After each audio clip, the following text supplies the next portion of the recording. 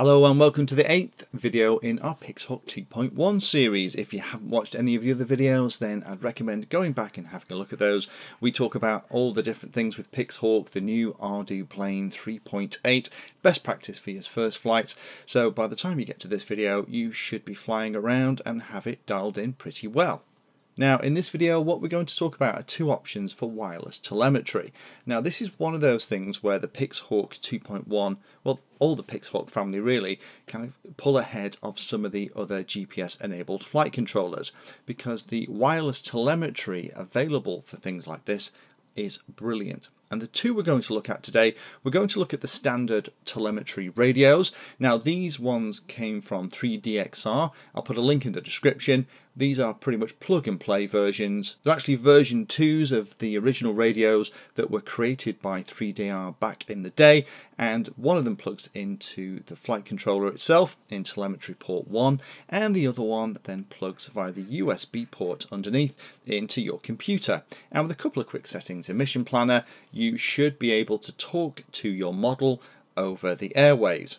Now there are two versions of this available. One is a 433 MHz version for people like us here in the UK and other territories have a 915 MHz version. And the nice thing about these telemetry radios is they have a lovely, lovely long range. So you can fly a very long way and have all that information displayed in Mission Planner at a tablet or a PC by your feet or as part of your ground station so you can see exactly where it is, where it's flying, the battery voltage and all that goodness live as you're actually flying the mission. The other thing we're going to talk about is something that's a little bit more funky that you may not have seen before. We've talked about those 3DR radios in a couple of other videos. This is something called FlightDeck. Uh, it's available for both the Taranis X9D and also for the QX7 as well. And what this is, is a special little cable that you buy from these guys. You plug that into telemetry port 2, stick it into the smart port connector on your X series receiver that you're flying the plane with, and then you also have a Lua script that you get a license to use and you download that, stick it onto your SD card, and it's essentially like a mini mission planner that appears on the radio. And I'll show you how to set that one up too. So first of all, let's talk about how you actually plug these telemetry radios into the Pixhawk. Again, the Pixhawk 2.1 actually has two telemetry ports, telemetry 1 and telemetry 2. If you're going to use both these systems in tandem, which you can, which is pretty cool, you can actually connect the radios into telemetry 1 and then use the telemetry 2 port for the FrSky cable from the FlightDeck guys. So I'm going to install my radio here into the telemetry 1 port in my Pixhawk. By default telemetry 1 is set up for 57600 baud and it's talking Mavlink, which is the protocol that we use to have a chat with the flight controller. And then on the other end, all we need to do is start up Mission Planner and we need then to plug the USB cable into the ground side radio. Now this isn't always this straightforward. We've got other videos on the channel that show you how to go through and unpick radios that haven't been bound together. I'd always recommend if you're going to go to the expense of buying something like a Pixhawk, get the radios from a reputable supplier. That way they're going to come pre-configured and set up. So when you plug the radios into your computer, you'll find a new COM port will appear. In ours, here it was COM5.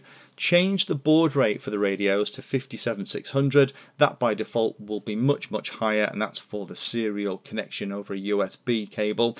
Turn it down to 57600. Don't connect, and then go into the radio tab here in the extra pieces and then without connecting just click on the load button to load the parameters. If it's all working, you first of all will see the parameters from the local radio populate and then over the wireless link you'll see the parameters populate for the remote radio too. And while it's doing this, you'll notice that the radios local by the side of the computer connected via that USB cable will be flashing away and the ones on the model will too. And that means everything is working. Once it's working, you can just go out and fly, you're good to go. You can then select COM5 and connect and actually talk to the model just like you would as if you were connected via a USB cable, and you can still talk to the model even when it's a couple of miles away. Only thing you have to be careful of here is there is something called the network ID. By default it's set to 25 all the radios that shipped seem to be set to 25 so if you're going to be flying with a friend who is going to be using another PixHawk with another set of radios you might want to change that number to something else so that you're not interfering with each other so the next funky thing we need to talk about then is FlightDeck. Now FlightDeck is something that you buy, again uh, I've got this one from the 3DXR guys, it's a cable and a Lua script. Now the cable installation itself is pretty straightforward, you just plug one end into telemetry port 2, uh, so you can run this and the telemetry radio side by side, which is pretty cool. And the other end of it goes into the smart port plug on your X series receiver. Now this is something that will support Taranis X9Ds and also FrSky QX7s. So if you have one of those radios, you'll get this to work. And what you need to do is, once you've got the cable installed onto your PixHawk and plugged into the telemetry 2 port and the smart port plug on your X series receiver, we have to open Mission Planner and go into the advanced parameters and we need to find the telemetry 2 protocol settings. Now the reason for that is by default the telemetry seems to be set up for Mavlink. We need to tell it that we want it to talk pass through smart port telemetry on the port that we've got this cable plugged into. Now that's telemetry 2 for us and I've changed that protocol to be the pass through smart port telemetry. Once you've done that, save it and then that's all the stuff done on the PixHawk. You get a download from the Lua script from the FlightDeck guides, and in the downloads you get from those guides, there's a full instruction booklet. But very simply, what you do is you copy the contents of the SD card folder into the root directory of your SD card, uh, and that gives you a load of new sounds, some new scripts, and other things as well. And then there's a last little bit of setup, so pop the SD card back into your radio, fire up your radio, and go into the telemetry setup. With the model powered up, go and discover your sensors, and then the next thing you need to do is go and set up your telemetry screens. Set screen 1 up as a script, highlight the new script that you've just downloaded onto the SD card for the FlightDeck, and then you can exit out of there, and then a long press on the page button will bring up those telemetry screens and start the Lua script. And there we have basically a mini mission planner running on the radio. The other really cool thing is here, I've set up the audible alarms. You also get warnings audibly. So if you're flying around, maybe you might be doing FPV or you might be just uh, struggling to kind of see what's going on, you can Battery see exactly critical. what's happening here. If I rock the plane from side to side and move it around, you can see the artificial horizon moving pretty much in real time. The update frequency is very, very quick indeed. It's showing me my battery status, it's showing me how much current's been used, it's showing me the flight mode, it's showing me the direction to home Very arrow. Critical. All that kind of goodness is here as well. And by rotating this little button on the right hand side of the screen, I can get additional information, including the Mavlink messages too. So hopefully that's interesting for those of you that are looking at the PixHawk.